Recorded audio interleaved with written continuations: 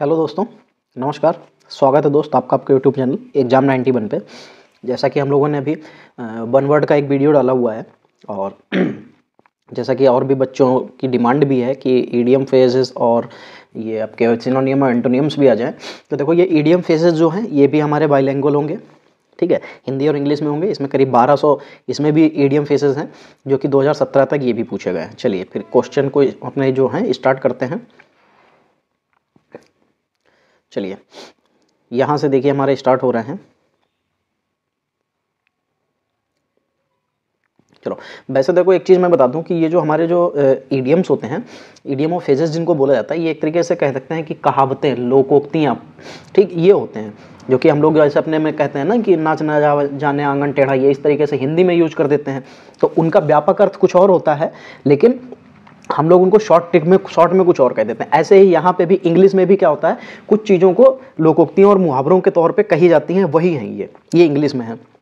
चलिए swapping statement ठीक है? यहाँ पे इसका हिंदी अर्थ क्या हो जाता है? व्यापक बयान, ठीक है? और थॉटलेट स्टेट थॉटलेस स्टेटमेंट जिसकी कोई सोच मतलब उसमें ना हो, ठीक है? थॉटलेस होते हैं जो वो, उस तरीके के स्टेटमेंट को क्या कहते हैं? स्वैपिंग स्टेटमेंट ठीक है?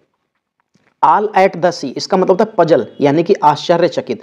या ये कह सकते हैं कि समस्या, ये पजल मतलब फंसना हुआ, ये इस तरीके से आल एट सी पजल ठीक इंपॉर्टेंट है।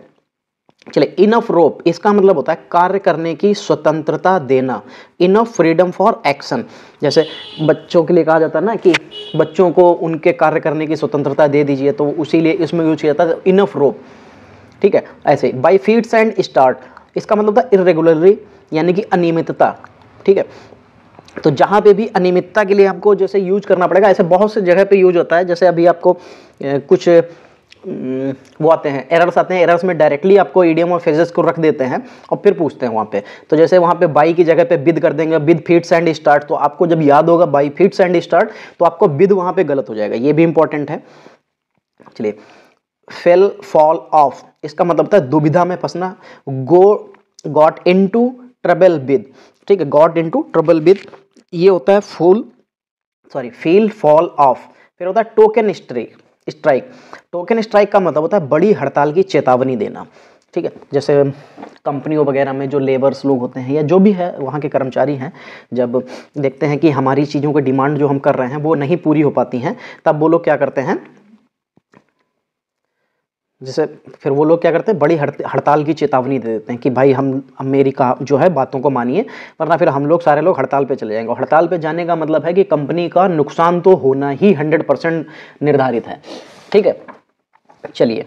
फिर आगे देखते हैं। फेस द म्यूज़िक इसका मतलब होता है डांट खाना, आलोचना झेलना। म्यूज़िक पे मत जाइएगा, ये वो वाली म्यूज़िक होती है जो घर में बड़े बूढ़ों से मिलती है, पिताजी से, माताजी से, वो ये वो वाली म्यूज़िक होता है। और ये म्यूज़िक आप बिल्कुल भी कभी सुनना नहीं चाहते हैं। तो क्या होता है? गेट रेप्रीमाइंडेड रिप्रीमाइंडेड इसका मतलब था डांट खाना या आलोचना झेलना, घर में जाते ही कि आ गए ना बाप जाते। देखिए ये घूम के आए ये देखिए खेल के आए हैं, ये देखिए दिन भर खाना नहीं बना मतलब कोई काम नहीं करते हैं, दिन भर देखिए इनका मोबाइल चलता रहता है, दिन भर इंस्टाग्राम के वीडियो बनते रहते हैं। इस तरीके की जो बातें दिन भर आपको सुनने को मिलती हैं, ये वो म्यूज़िक होती है जिसको आप फेस नहीं करना चाहते हैं। ठीक तो फेस द म्यूज़िक यानी कि डांट खाना, आलोचना झेलना। याद रखना, यहाँ पे फेस द म्यूज़िक तो कौन सी वाली म्यूज़िक है? घर वाली म्यूज़िक है, जिसमें आपको बहुत बुरी तरीके से लताड़ पड़ती है। चलो। Look down upon hate intensely होता है, इसका मतलब घृणा करना होता है। लॉग लुक डाउन अपॉन ठीक, इसका मतलब होता है घृणा करना। बाकी इसमें ऐसा कुछ आपको बताने वाला नहीं है, घृणा करना तो मतलब आप जानते हो हेट होता है। ठीक है, चलिए, नौ नंबर देखिए। फ्लॉगिंग अ डेड हॉर्स ठीक, इसका मतलब बेकार कार्य में समय बर्बाद करना। ठीक है flogging a dead horse wasting time in useless effort जिसका कोई काम नहीं है, उसमें हमें समय बर्बाद करना। जैसे घर में जो बच्चे होते हैं, जब उनको आप कहिए कि पढ़ना है तो उनको पचास तरीके की, कहीं पुट्टी जाना है, कहीं हमें ये करना है, कभी वो करना है, आज मेरी कॉपी गुम हो गई। जब इस तरीके से जब समय बर्बाद करते हैं, इसको बोलते हैं फ्लॉगिंग द डेड हॉर्स चलिए, फिर देखिए, दस नंबर पे क्या है? अंडर अ क्लाउड इसका मतलब क्या होता है? शक के दायरे में आना, यानी कि अंडर सस्पिशियन मतलब घर में कोई चीज़, आपकी बड़ी बहन है या आपका बड़ा भाई है, अब आप, उन्होंने कुछ खाने को रखा, मालूम हो, उन्होंने फ्रिज में चॉकलेट रख रखी है। आपको पता है कि चॉकलेट रखी है उनको भी पता है कि इस बंद इस छोटे वाले भाई को पता है कि चॉकलेट रखी हुई है। अब वो खा के कोई और जाए, लेकिन शक की सुई आपके ऊपर आती है। आप शक के दायरे में आ जाते हो, यानी कि अंडर अ क्लाउड आ जाते हो। ठीक है? तो इसका मतलब होता है शक के दायरे में आना। चलिए। फिर है प्लेड है वो इसका मतलब होता है तबाही मचाना। ये काफ़ी इंपॉर्टेंट है, कई बार पूछा जा चुका है। कर्ज डिस्ट्रैक्शन होता है। ठीक है? नो लव लॉस्ट बिटवीन यानी कि इसका मतलब संबंधों में खटास होना। नो लव लॉस्ट बिटवीन यानी कि उन लोगों के बीच में किसी भी तरीके की प्यार, मोहब्बत नहीं बची तो अब क्या हो जाएगा? खटास हो जाएगा। नॉट अ गुड टर्म्स यानी कि अच्छे टर्म्स में वो लोग नहीं बचे। चलो तेरह नंबर देखो। फियर एंड स्क्वायर इसका मतलब होता है ईमानदार हॉनेस्ट ठीक है? फियर फेयर एंड स्क्वायर इसका मतलब होता है ईमानदार एंड ऑन या कह सकते हैं ऑनेस्ट चलिए अ वाइट एलिफेंट इसका मतलब होता है बहुत महँगी वस्तु, ठीक है? महँगी कह सकते हैं और व्यर्थ भी, जिसका कोई मतलब नहीं। जैसे व्हाइट एलिफेंट अब व्हाइट एलिफेंट का क्या मतलब? एलिफेंट एलिफेंट होता है, वो चाहे व्हाइट हो, चाहे ब्लैक हो एलिफेंट तो एलिफेंट है, ठीक है? इसीलिए कहा गया है कि महँगी और व्यर्थ वस्तु जो होती है कॉस्टली और ट्रबलसम पोसेशंस तो इसका मतलब है ये व्हाइट एलिफेंट जैसे व्हाइट एलिफेंट कहीं भी हो, हमें क्या मतलब? जिस बच्चे ने एलिफेंट देखा एलिफेंट देखा है, वो जो एलिफेंट है वाइट हो या ब्लैक हो ब्राउन हो ब्लू हो किसी भी, उससे हमें कोई मतलब नहीं। अब आप उसको मान लिया करोड़ों में खरीद के लेके आइए, क्या मतलब उस चीज़ का है?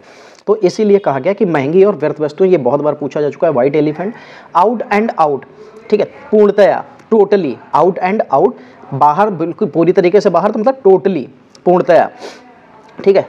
ऑन द कफ ठीक है? इसका मतलब है ऑन क्रेडिट उधारी पर। सत्रह number does not hold water विश्वास करने के अयोग्य। मतलब कैन नॉट बी बिलीव्ड जब डज नॉट होल्ड वाटर इसका मतलब आप पानी नहीं रोक सकते हैं तो इसका मतलब मैं आप पे विश्वास नहीं कर सकता हूँ। इसका एक तरीके से मैं एक मतलब आपको ये नहीं कह रहा हूँ कि ऐसा है। मैं आपको एक ट्रिक बता रहा हूँ। डज नॉट होल्ड वाटर यानी कि जब आप पानी को नहीं रोक पा रहे हो तो मेरी बातों को कैसे रोक पाओगे? ठीक है? तो यानी कि वो विश्वास करने के योग्य नहीं है।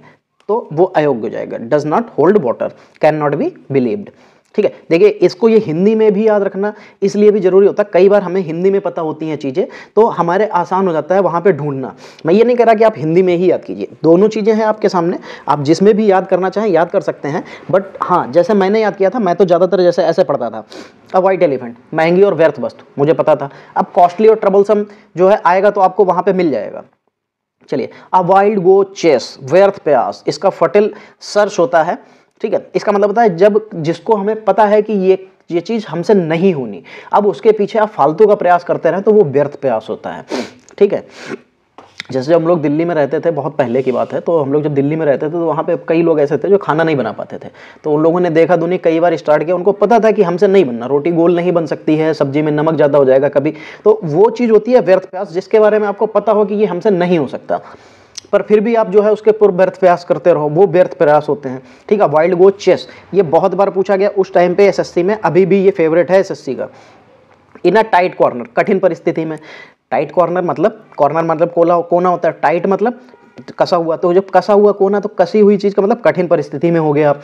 इन अ डिफ़िकल्ट सिचुएशन चलिए, फिर बीस नंबर देखिए ग्रीन टर्म ग्रीन थंब क्या हो जाएगा? स्वाभाविकता। To have a natural interest यानी कि जब आपका प्राकृतिक तरीके से जिसमें इंटरेस्ट हो गया, यानी कि जिसको स्वाभाविकता बोलते हैं, जिसको ग्रीन टर्म बोलते हैं थम बोलते हैं, चलिए, फिर देखिए, यहाँ से जो है एसओ यानी कि ऑडिट का जो वो ऑफिसर होता है एसओ ऑडिट ऑफिसर उसका 2003 में ये क्वेश्चंस पूछे गए थे। गोइंग प्लेसेस इसका क्या होता है? प्रतिभाशाली और सफल व्यक्ति टैलेंटेड एंड सक्सेसफुल चलो, देखो, मैं अपना बताता हूँ, मैंने जब इनको याद करना स्टार्ट किया था, मैंने कैसे याद किया था? जैसे मैं देखता था, मुझे पढ़ने में जो बहुत आसान लगते थे ठीक है, मैं पहले उनको याद कर लेता था। फिर देखता था अच्छा बीस क्वेश्चन बीस लिखे हुए थे। जैसे ये आपको एक पेज में सत्ताईस दिखाई दे रहे तो मैंने क्या किया, इनमें जैसे मैंने देखा कि अच्छा टू, देखा ऐसे करके गोइंग प्लेसेस यार, ये पढ़ने में सही लग रहा है। अच्छा इसकी हिंदी क्या है? प्रतिभाशाली और सफल व्यक्ति। अच्छा तो फिर मैंने इसको क्या किया, ऐसे करके निशान लगा लिया। ठीक? अब इसका मतलब है, ये सरल है, ये मैं याद करूँगा। मुझे इससे नहीं मतलब ये आया है कि नहीं आया। मेन चीज़ ये थी कि अब मुझे कितनी ज़्यादा चीज़ें याद करनी है। तो इसलिए मैंने क्या किया, सरल है अच्छा याद कर लिया। तो ऐसे याद किया। ठीक है? इन कोल्ड ब्लड निर्मम हत्या, निर्गम हत्या। इसका मतलब होता है murder done with intention and planning जिसका जिसमें जैसे जो मर्डर बिल्कुल पूर्णतया सोच समझ के किया गया हो। जिसको पूरी तरीके से सोच समझ के किया गया हो, वो होता है cold blooded sorry in cold blood यानी कि बहुत इतमान से किया गया कि हम जिसको निर्गम हत्या बोलते हैं, इसीलिए, देखो a murder done with intention and planning यानी कि उसको बहुत प्लानिंग और उसको उसको पता था कि हमें ये करना है, तभी वो उसने किया तो इसलिए इन कोल्ड ब्लड बहुत इंपॉर्टेंट है। ऑफ़ एंड ऑन कभी कभी सिंपल सी बात है, सभी के मूड में होता है कि यार आज मूड बहुत ऑफ़ है, आज मेरा तो मूड बहुत ऑन है तो ऑफ़ एंड ऑन किसके लिए होता है? कभी कभी के लिए ओकेजनली ठीक है? जैसे ये वाले शब्द आए ना, मुझे बहुत अच्छे लगते थे, क्यों? ऑफ़ एंड ऑन कभी कभी ओकेजनली ये पता होते हैं, इनमें इंग्लिश में वो शब्द जो हमको बहुत अच्छे से पढ़ने में समझ में आ जाते हैं, आसानी से लगता है कि यार ये हमें याद रहेंगे। तो हम क्या करते हैं, उनको हम ज़रूर याद करते हैं। मैं अपना बताता हूँ, मैं उनको टिक लगा के ऐसे याद कर लेता था। फिर जब दोबारा पढ़ता था तो वो वो चीज़ें याद होती थी। अच्छा यार, यहाँ पे तो ऑन एंड ऑफ़ बताया ऑफ़ एंड ऑन बताया था। ऑफ़ एंड ऑन का मतलब होता है कभी कभी ओकेजनली तो वो टिक लगा होता था, पता होता था ये याद है। ऐसे याद कर लेते थे। अब देखो, जैसे ये हार्ड एंड फास्ट इसका मतलब होता है सख्त। ठीक है? यानी कि हार्ड मतलब बहुत कठिन और फास्ट मतलब तेज। कठिन और तेज तो वो सिंपल सी बात, सख्त हो जाएगा। तो स्ट्रिक्ट हो जाता था, ठीक? ऐसे करके टुक टू हिल्स डर कर भागना। हिल्स मतलब क्या होता है? आपको भी पता है, वो चप्पलों और जूतों मतलब एड़ियों के लिए कहा जाता है। तो टुक टू हिल्स टुक मतलब लेना टू हिल्स हिल्स पर लेना तो यानी कि run away in the fear मतलब डर कर भाग जाना। टू कीप अप क्या हो जाएगा? टू कीप इन टच संपर्क में रहना। टू कीप अप टू, संपर्क संपर्क में रहना, ये बहुत इंपॉर्टेंट है, ये आपको मैं बता दूँ। ये एरर्स में भी पूछा जाता है, आपका फिल इन दी ब्लैंक्स में कभी कभार पूछा जाता है तो ये एरर्स में इसलिए पूछ पूछ दिया जाता है, यहाँ पे जब टू की बिद हो जाता है, यहाँ पे अब की जगह पे ये लोग विद पूछ देते हैं। ठीक है टू कीप बिद फिर वहाँ पे हमारे दिमाग में आता है हमने तो पढ़ा था टू कीप अप, ऐसे करके कुछ याद था, या ऐसे ऐसे करके कुछ पढ़ा था। तो क्या होता है, वो विद और अप याद नहीं रहता, लेकिन टू कीप याद रहता है। उसका मतलब हमें याद होता है कि संपर्क में रहना था। तो ये चीज़ें हमें जो है दिक्कत दे जाती हैं, ठीक है? तो इसलिए वहाँ पर ये गलत हो जाते हैं। चलिए, फिर 27 नंबर देखिए, मेक अ क्लीन ब्रेस्ट। इसका मतलब है बिना झिझक या डर के जुर्म की गलती कबूलना। कन्फेस विद रिज़र्व ठीक? जब मतलब आपने कोई गलती की है उसको आप बिना किसी डर के और बिना किसी मतलब झिझक हम्म, वो सब कुछ आप अपनी गलती कबूल लेते हो। घर में तो कई बार कबूली होती है भाई। चलो फिर क्या है? फिर यहाँ पे दिया हुआ है हेड्स विद रोल क्या दिया हुआ है? हेड्स विद रोल इसका मतलब है स्थानांतरण होने यानी कि transfer bill with sorry transfer bill take place ठीक है? Heads and heads with roll roll मतलब घूमना होता है। घूमने का तो वो एक जगह से दूसरी जगह जाएगा। तो क्या होगा? स्थानांतरण होना। यानी कि ट्रांसफ़र होना। ऐसे कह सकते हैं। ट्रांसफ़र विल टेक प्लेस ठीक? तो रोल के लिए हमने याद किया है कि स्थानांतरण होना। रोल मतलब घूमना। एक जब घूमेगा तो एक जगह से दूसरी जगह जाएगा ही जाएगा। तो वो स्थानांतरित हो जाएगा। मेक नो बोन्स अबाउट यानी कि बेझिझक। Do not have any hesitation in anything चलो, ठीक टेक आफ्टर इसका मतलब सम्मान देना रिजेंबल्स ये ये ये जो टेक आफ्टर आप देख रहे हैं, ये आपसे एरर में पूछा जाएगा। बहुत बार पूछा जाता है, एक बार नहीं टेक विद होता है टेक आफ्टर करते हैं। इस तरीके से टेक आफ्टर इस तरीके से बहुत सी चीज़ें होती हैं, जो टेक के साथ वो रख देंगे। ठीक है? कोई प्रीपोजिशन उठा के रख देंगे या क्या? आपको लगेगा कि यार हाँ ये तो मैंने पढ़ा हुआ था। ठीक है? टेक आफ्टर सम्मान देना होता है। सॉरी सम्मान देना बता रहा हूँ। यहाँ पे रिजेंबल्स लिखा है तो मैं ध्यान नहीं दिया। रिजेंबल्स का मतलब होता है समान होना, ठीक है? टेक आफ्टर का मतलब होता है समान होना resembles to stave off to stave off का मतलब होता है पोस्टपोन यानी कि टाल देना। To give a piece of mind यानी कि फटकारना, जिसको नहीं कहते हैं, गाँव में लोग कहते हैं, आज मैंने उसको बहुत फटकारा। इसका मतलब होता है डांटना, ठीक है? To give a piece of mind तो इसका मतलब होता है फटकारना मतलब डांटना। टू रेप्रीमेंड चलिए। फिर तैंतीस नंबर देखिए रेस्ट ऑन लोरिल्स इसका मतलब होता है पुरानी उपलब्धियों पर गुणगान करना। जैसे, मान लीजिए पुरानी उपलब्धि मैंने कभी एक मैच में, एक ओवर में छः छक्के मार दिए थे। अब भले अगले दस मैचों में मैं क्या कर रहा हूँ, ज़ीरो पे आउट हो रहा हूँ। लेकिन फिर भी मैं गाया जा रहा हूँ, अरे, मैंने उस मैच में छः मारे थे, उस मैच में ये किया था, उस मैच में तो वो होती है पुरानी उपलब्धियों का गुणगान करना। रेस्ट रेस्ट ऑन लॉरेल्स यानी कि टू बी कॉम्प्लीसेंट। चलिए, चौंतीस नंबर देखिए। पे थ्रो नोज़ यानी कि अत्यधिक मूल्य भरना। जब भाई अपनी नोज़ के, यानी कि नाक के ज़रिए से आप किसी भी चीज़ को पे करोगे तो सिंपल दैट नाक बहुत सेंसिटिव होती है। अगर आप उससे करोगे तो चोट, डर मतलब कुछ भी इस तरीके की चीज़ें हो सकती हैं। डर भी होता है, चोट भी लग सकती है। नाक के, आप ये समझिए कि अगर थोड़ा सा भी तेज हो जाए, कुछ भी उंगली भी तेज लग जाए तो आँसू आ जाते हैं। तो क्या हो जाएगा यहाँ पे? अत्यधिक मूल्य भरना। तो पे एन एक्सट्रीमली हाई प्राइस क्या हो जाएगा? पे थ्रो नोज़ जब आप अपनी नोज़ से कुछ किसी चीज़ को पे करते हो, ठीक है नोक के नोज़ के माध्यम से, यानी नाक के माध्यम से पे करते हो तो वो अत्यधिक मूल्य भरना बहुत मूल्यवान हो जा, बन जाता है। क्यों? क्योंकि वहाँ से आपकी जान भी जा सकती है। तो इसलिए पे थ्रो नोज़ यानी कि बहुत अत्यधिक मूल्यवान भरना, या अत्यधिक मूल्य भरना सॉरी अत्यधिक मूल्य भरना या बहुत ज़्यादा पे करना। चलिए ड्रॉ ऑन फैंसी यानी कि कल्पना करना। ड्रॉ ऑन फैंसी कल्पना करना यूज़ इमेजिनेशन कल्पनाओं में तो बच्चे जब हम लोग पढ़ाई कर रहे होते हैं, सारे के सारे कल्पनाओं में जी रहे होते हैं, बहुत कुछ कल्पना कर लेते हैं। चलिए टर्न एन ऑनेस्ट लिविंग क्या होता है? ईमानदारी से। अब ऑनेस्ट आ गया तो सिंपल सी बात, ईमानदारी से रिलेटेड होगा। मेक एन लेजिमेट लिविंग ईमानदारी से। गिव द गेम अवे राज खोलना। गिव द गेम अवे यानी कि आप गेम से अलग जा रहे हो। अब हमारा, मान लो हम लोग किसी भी टॉपिक पे बात कर रहे हो, उस टॉपिक पे बात ना करके आप किसी, उसकी बातों को, उसकी लाइफ की बातों को एक्सप्लेन करने लग जाओ वहाँ पे वो सारी चीज़ें। तो गिव आउट द सीक्रेट यानी कि राज खोलना। चलो cheek by jowl very near बहुत नज़दीक। उनतालीस number.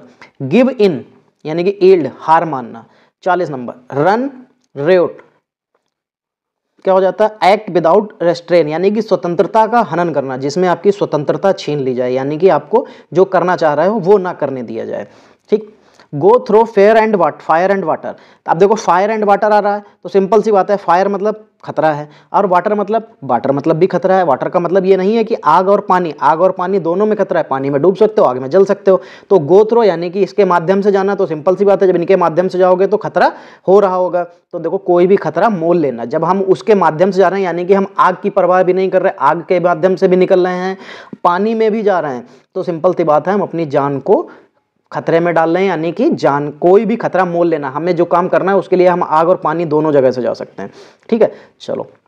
Taking talking throw height क्या हो जाएगा? टॉकिंग नॉनसेंस बकवास करना। चलिए। पुट अप विद टॉलरेट यानी कि बर्दाश्त करना। पुट अप विद ठीक? क्या होता है? बर्दाश्त करना। बाई फीट्स एंड स्टार्ट इसका मतलब होता है अनियमित, इल इरेगुलरली अभी इसके बारे में बात हुई थी। बाई फ़ीड एंड स्टार्ट इसका मतलब होता है अनियमित इरेगुलरली चलिए, पैंतीस नंबर देखिए। रीडिंग बिटवीन द लाइन्स यानी कि छुपे हुए अर्थ को समझ लेना। जब आप, जब लाइन्स के बीच को जो है रीड कर रहे हो तो इसका मतलब है आप उसके अर्थ को समझ रहे हो। जो बीच में चीज़ें जैसे आप लिखते हैं ना कि पोएम के बारे में स्टैंडा के बारे में उनको बताओ। तो क्या होता है इसका मतलब ये होता है कि आप इस कविता की चार लाइन को समझिए और इसको एक्सप्लेन करके आप इसको बड़े में बताइए। पूरा एक्सप्लेन कीजिए। तो वही चीज़ होती है छुपे हुए अर्थ को समझना reading between the lines understanding the hidden meaning ठीक है? ये हम लोगों के जब छोटे थे तो पोएम में लिखने को बहुत आते थे हाई स्कूल इलेवेंथ में ट्वेल्थ में कि इस, इसके स्टैंडा के बारे में बताओ इसकी पोएम के बारे में बताओ ठीक है? तो ये आते थे। चलिए, वहाँ पे ये मीनिंग समझ में नहीं आते थे बट अब यहाँ पे ये मीनिंग समझ में आते हैं कि इसका क्या अर्थ था। चलो, फिर देखो, फिर आगे क्या है? लिखा हुआ गेट द शेक यानी कि बर्खास्त होना डिसमिस्ड फॉर्म ठीक है dismissed from pros and cons क्या हो जाएगा? कंसिडरिंग ऑल द फैक्ट सारे पहलुओं को जांचना। By leap and the words बहुत इंपॉर्टेंट शीघ्रता से होता है very quickly by leap and words यानी कि शीघ्रता से बहुत quickly in the good book जब आप सिंपल सी बात गुड बुक भाई किसी की गुड बुक गुड बुक होना तो मतलब आप उसके फेवरेट हो जाना. तो अच्छे संबंध बनाए रखना इन फेवरेट विद बॉस ठीक है? इन दी गुड बुक्स अगर आप, मैं आपसे कहता हूँ कि आप मेरे गुड बुक्स में आ गए, इसका मतलब आप मेरे फेवरेट हो गए हो। ठीक है? यहाँ से याद रखिए, इतने में आपको, मुझे पता है, बहुत अच्छे से याद रहेगा। और देखिए, जब भी, अभी कभी भी ऐसा सरल शब्द बने, आप उसको क्या करिए, आप उसको टिक ज़रूर लगा लिए इसका मतलब है, ये सरल चीज़ है, ये जल्दी याद हो जाएगी। और जब जल्दी याद हो जाएगी तो उस पर ज़्यादा फोकस नहीं करना पड़ेगा। बाकी चीज़ों पर आप फोकस कर सकते हो। इन दी लॉन्ग रन आखिरकार जब लॉन्ग रन हो रन होगा, जैसे आप किसी चोर को पकड़ रहे बहुत भाग रहे दो चार किलोमीटर भाग गए फिर पकड़ लिया, फिर क्या होगा? फिर आप यही कहोगे, अरे यार, आखिरकार मैंने चोर को पकड़ लिया। तो फिर वही होता है। The long in the long run का मतलब हो जाएगा आखिरकार। अल्टीमेटली ठीक है? चलो। To be always open beck and call क्या होता है इसका मतलब? आज्ञा में हाजिर रहना। ठीक है? जैसे to be always once back and call तो इसका मतलब है आज्ञा में हाजिर रहना, जैसे ही उन्होंने कहा कि आप आ जाओ, आप पहुँच गए। At once disposal ready to serve once master ठीक है? टर्न आ डीफ ईयर अनसुना करना। हमें सुनाई दे रहा है, सब कुछ है, कहा गया घर पे, आज मार्केट जाना है। हमने सुना हाँ मार्केट जाना है, ठीक है, चले जाएँगे। बस, काम खत्म। तो ये चीज़ होती है to be always once back and sorry turn a deaf ear मतलब डीफ ईयर मतलब बहरा बन जाना, ठीक है? टर्न मतलब पलट अब जो थे उससे पलट गए। अब जो हो, क्या बन गए हो? पहले आपको सुनाई देता था, लेकिन अब क्या है? अब आपको सुनाई नहीं दे रहा। इसलिए लिखा टर्न डेफ ईयर यानी कि अनसुना कर देना। सुन तो लिया, लेकिन अब हम ऐसे एक्ट कर रहे हैं जैसे हमने नहीं सुन पाया। तो क्या होता है? अनसुना करना। डिसरिगार्ड या इग्नोर या रिफ्यूज ठीक है? इनके लिए यहाँ पे ये शब्द यूज़ किए जाते हैं, याद रखिएगा। डिसगार्ड इग्नोर या रिफ्यूज बहुत इंपॉर्टेंट है। एट वंस विट्स एंड यानी कि चकित पजल्ड कंफ्यूज परप्लेक्स्ड कंफ्यूज के लिए मैं वो भी पीछे भी बता चुका था क्या था कंफ्यूज के लिए एट द सी था शायद एट पजल था वो ठीक है? At once wets wits and end sorry at once wits end इसका मतलब होता है चकित यानी कि इग्नोर कंफ्यूज या पजल्ड चलिए to fight tooth and nail इसका मतलब दृढ़ता के साथ संघर्ष करना कि मतलब मैं कि, मतलब आप मान के चलो कि आप कि, आपकी किसी से लड़ाई हो गई अब वो आपसे तगड़ा भी है क्या करेगा? आप तो मारने जाओगे उसको, लेकिन वो पकड़ के आपको घसीट के बहुत मारेगा। तो आप क्या होगा? आप पूरी जी जान लगाते हो। तो उसमें क्या होता है? आप सोचते हो, नहीं यार, कुछ कर पा रहे चलो, पकड़ के इसको नोच लेते हैं, काट लेते हैं। तो उसका मतलब होता है, जब हम अपने सब कुछ लगा देते हैं, ठीक है? जब हम अपना सब कुछ लगा देते हैं, तभी तो फिर जब हम देख रहे हैं, जीत नहीं पा रहे, तभी तो काटते हो, तभी तो नोचते हो, जैसे बच्चों के साथ लड़ाई लड़िए जैसे छोटे छोटे बच्चे होते हैं पाँच छः साल के, आपके घर में कोई हो, कभी भी उसको बहुत चिढ़ाइएगा, बहुत ज़्यादा। और फिर देखना, फिर वो आएगा जब जानती है कि जानती है या जानता है बच्चा जो भी है वो देखेगा कि यार आपसे कुछ नहीं कर पा रहा, वो जीत नहीं पा रहा। तब वो क्या करता है? आके थूक देगा, काट देगा या नोच के भाग जाएगा। तो यही होता है to food to fight, tooth and nail, यानी कि अपने दांतों और नाखूनों के साथ लड़ाई लड़ना है, ठीक है? तो मतलब होता है दृढ़ता के साथ संघर्ष करना होता है, ठीक है? To fight and determined way for what you want मतलब हमें जो चाहिए, हम उसके लिए हमारे लगे पड़े हैं, लगे पड़े हैं, है? तो यही होता है इसका मतलब दृढ़ता के साथ संघर्ष करना। चलो, फिर पचपन नंबर, द ग्रीन आइड इसका मतलब क्या होता है? ईर्ष्यालु क्या होता है? ईर्ष्यालु use as a way of talking about मतलब मोहल्ले में जो महिलाएँ नहीं होती हैं, बैठ जाती आके हैं, फिर अपनी बहुओं की बुराइयाँ करनी स्टार्ट कर देती हैं। तो वो लोग क्या करते हैं? वो यही करते हैं। द ग्रीन आइड वो ग्रीन आइड वाली महिलाएँ कही जा सकती हैं कि वो क्या है? ईर्ष्यालु हैं। ईर्ष्यालु जैसे ये कह सकते हैं कि वो अपनी बहू से ईर्ष्या करती हैं। ईर्ष्या तो खैर कहना सही नहीं होगा, लेकिन हाँ फिर भी वो अपनी बहू की वहाँ पर बुराइयाँ करती हैं। Use a way to talking about यानी कि उसके बारे में बात करने का कोई रास्ता निकालना। अब हमें पता है कि अच्छा ये यहाँ पे इनके बारे में तो उनके बारे में जो है चुगलियाँ करना, वहाँ पे बैठना। तो ईर्ष्यालु होता था ग्रीन आइड भाई ग्रीन आइड का मतलब क्या होगा? हरी आँखों वाला। तो हरी आँखों वाला क्या होगा? ईर्ष्यालु होगा। ठीक है? चलो। तो देखो भाई, पचपन हमारे यहाँ पे कंप्लीट हो गए। इसके बाद में आने वाले समय में हम लोग अभी और भी चीज़ें आपके लिए, ऐसे कि पर डे के पर डे आप लोगों को एक वीडियो मिलता रहेगा। ठीक है? ये आपको दिन में आप लोग खुद बताइएगा किस टाइम आपको चाहिए। जिस टाइम भी चाहिए, ये उस टाइम अपलोड कर दिया जाएगा। आप लोग फिर देखिएगा। ठीक है? चलिए दोस्तों, आज की क्लास यहीं पे समाप्त करते हैं। मिलते हैं अगली क्लास में। तब तक के लिए जय हिंद दोस्तों।